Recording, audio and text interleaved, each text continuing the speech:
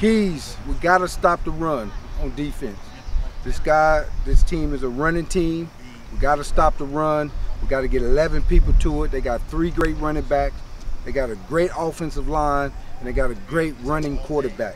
And so we got to stop the run. Two, on offense, we got to take advantage of our big plays. We got to score touchdowns in the red zone.